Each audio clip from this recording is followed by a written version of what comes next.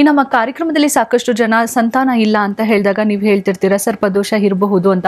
ಈ ಸಂತಾನ ಭಾಗ್ಯಕ್ಕೂ ಸರ್ಪಕ್ಕೂ ಏನಾದರೂ ಸಂಬಂಧಗಳಿದೆಯಾ? ಇದೆ ಅನ್ನೋದಾದ್ರೆ ಅದು ಏನಮ್ಮ ನೋಡಿ, ಸಾಧಾರಣವಾಗಿ ಮೊದಲಿನಿಂದನೂ ಬಂದಿರತಕ್ಕಂಥದ್ದು ಯಾರಿಗಾದರೂ ಸಂತಾನ ಆಗಲಿಲ್ಲ ಅಂದರೆ ಒನ್ನಾಗ ಪ್ರತಿಷ್ಠೆ ಮಾಡಿ ಅಂತ ಹೇಳುವಂಥದ್ದು ವಾಡಿಕೆಯಲ್ಲೇ ಬಂದಿದೆ. ಹೌದು, ಹಾಗಾದರೆ ಈ ಒಂದು ಸಂತಾನ ಇಲ್ಲದೆ ಇದ್ದವ್ರಿಗೆಲ್ರಿಗೂ ಸರ್ಪದೋಷವೇ ಸಮಸ್ಯೆನಾ ಅನ್ನುವಂತಹ ಪ್ರಶ್ನೆ ಕೂಡ ಬರುತ್ತೆ. ಆದರೆ ಕೇವಲ ಇದೊಂದೇ ದೋಷವೇ ಕಾರಣವಾಗೋದಿಲ್ಲ. ಇನ್ನೂ ಕೂಡ ಬೇರೆ ಬೇರೆಯ ಸಮಸ್ಯೆಗಳಿಂದನೂ ಕೂಡ ಸಂತಾನಕ್ಕೆ ಸಮಸ್ಯೆಗಳು ಬರ್ತಕ್ಕಂಥದ್ದಿರುತ್ತೆ. ಅದು ಪಿತೃದೋಷ ಇರಬಹುದು, ಮಾತೃದೋಷ ಇರಬಹುದು, ಸ್ತ್ರೀ ದೋಷ ಇರಬಹುದು, ಅಥವಾ ಸರ್ಪ ಶಾಪ ಇರಬಹುದು, ಸರ್ಪ ದೋಷ ಇರಬಹುದು, ಈ ರೀತಿ. ನಾನಾ ರೀತಿಯ ಸಮಸ್ಯೆಗಳು ಇರುತ್ತೆ. ಇದರಲ್ಲಿ ಯಾವುದೊಂದಿದ್ದಾಗಲೂ ಕೂಡ ಈ ಸಂತಾನಕ್ಕೆ ಸಮಸ್ಯೆ ಬರ್ತಕ್ಕಂತಹ ಅವಕಾಶ ಇರುತ್ತೆ. ಆದರೆ ಈ ಸರ್ಪ ಶಾಪದ್ದೇ ಹೆಚ್ಚಿನ ಪಾಲು ಇರುತ್ತೆ. ಯಾವಾಗಲೂ ಸಂತಾನಕ್ಕೆ ಹೆಚ್ಚಿನ ಪಾಲು ಯಾವುದರ ಕೊಡುಗೆ ಅಂದರೆ ಸರ್ಪದೋಷದ್ದೇ ಜಾಸ್ತಿ ಆಗಿರುತ್ತೆ. ನೂರರಲ್ಲಿ ತೊಂಬತ್ತು ಭಾಗದ ಜನಕ್ಕೆ ಸ ಸಂತಾನ ಆಗ್ತಾ ಇಲ್ಲ ಅಂದರೆ ಅದು ಸರ್ಪದೋಷದ್ದೇ ಆಗಿರುತ್ತೆ. ಇನ್ನು ಹತ್ತು ಭಾಗದ ಜನಕ್ಕೆ ಈ ಪಿತೃದೋಷ ಅಥವಾ ಸ್ತ್ರೀ ಶಾಪ ಈ ರೀತಿ ಬೇರೆ ಬೇರೆ ಕಾರಣಗಳು ಇರುತ್ತೆ. ಹಾಗಾಗಿ ಮೊದಲಿಗೆ ಈ ಸರ್ಪದೋಷ ಇದೆಯಾ ಇಲ್ವಾ ಇದನ್ನು ಸರಿಯಾಗಿ ನಾವು ಅರ್ಥ ಮಾಡ್ಕೋಬೇಕಾಗತ್ತೆ. ಈ ಸರ್ಪಶಾಪವನ್ನು ಗುರುತಿಸ್ತಕ್ಕಂಥದ್ದು ಅಷ್ಟು ಸುಲಭವಲ್ಲ. ಎಲ್ಲರಿಗೂ ಇದನ್ನು ಗುರುತಿಸೋದಕ್ಕೆ ಕೂಡ ಅಷ್ಟು ಸುಲಭವಾಗಿ ಬರೋದಿಲ್ಲ. ಇದಕ್ಕೆ ಬಹಳ ಸುದೀರ್ಘವಾದ ಅಧ್ಯಯನದ ಅವಶ್ಯಕತೆ ಇದೆ. ಜೊತೆಗೆ ಇದು ಸದ್ಗುರುವಿನ ಒಂದು ಕೃಪಾಶೀರ್ವಾದವೂ ಕೂಡ ಇದ್ದವರಿಗೆ ಈ ಕೆಲವೊಂದು ದೋಷಗಳನ್ನು ಗುರುತಿಸುವಂತಹ ಯೋಗ ಇರುತ್ತೆ.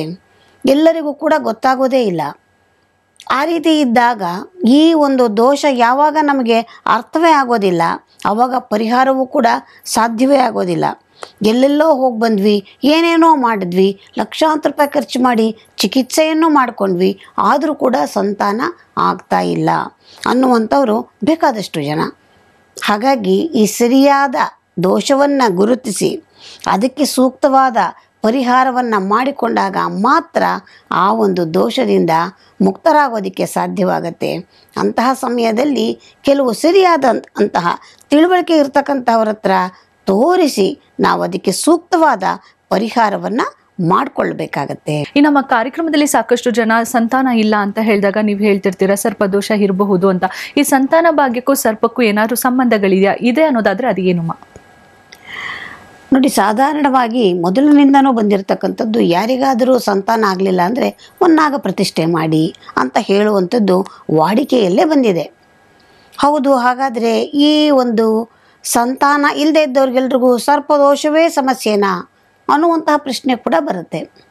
ಆದರೆ ಕೇವಲ ಇದೊಂದೇ ದೋಷವೇ ಕಾರಣವಾಗೋದಿಲ್ಲ.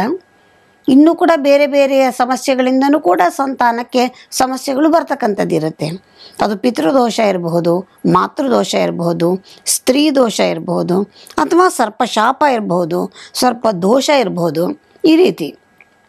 ನಾನಾ ರೀತಿಯ ಸಮಸ್ಯೆಗಳು ಇರುತ್ತೆ.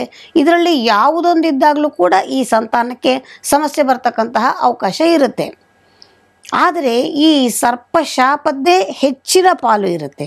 ಯಾವಾಗಲೂ ಸಂತಾನಕ್ಕೆ ಹೆಚ್ಚಿನ ಪಾಲು ಯಾವುದರ ಕೊಡುಗೆ ಅಂದರೆ ಸರ್ಪದೋಷದ್ದೇ ಜಾಸ್ತಿ ಆಗಿರುತ್ತೆ.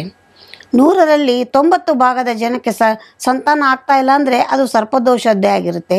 ಇನ್ನು ಹತ್ತು ಭಾಗದ ಜನಕ್ಕೆ ಈ ಪಿತೃದೋಷ ಅಥವಾ ಸ್ತ್ರೀ ಶಾಪ ಈ ರೀತಿ ಬೇರೆ ಬೇರೆ ಕಾರಣಗಳು ಇರುತ್ತೆ.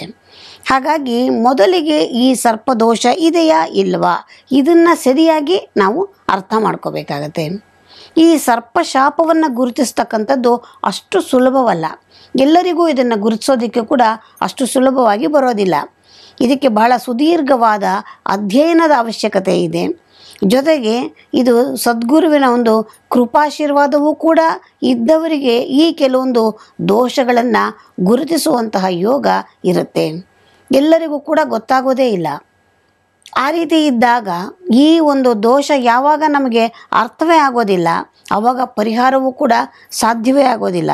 ಎಲ್ಲೆಲ್ಲೋ ಹೋಗಿ ಬಂದ್ವಿ, ಏನೇನೋ ಮಾಡಿದ್ವಿ, ಲಕ್ಷಾಂತರ ರೂಪಾಯಿ ಖರ್ಚು ಮಾಡಿ ಚಿಕಿತ್ಸೆಯನ್ನು ಮಾಡ್ಕೊಂಡ್ವಿ, ಆದರೂ ಕೂಡ ಸಂತಾನ ಆಗ್ತಾ ಇಲ್ಲ ಅನ್ನುವಂಥವರು ಬೇಕಾದಷ್ಟು ಜನ.